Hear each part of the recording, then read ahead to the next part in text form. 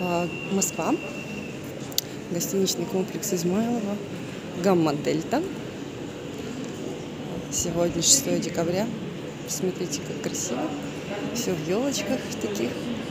А, Тут какой-то прям целая фотозона, наверное.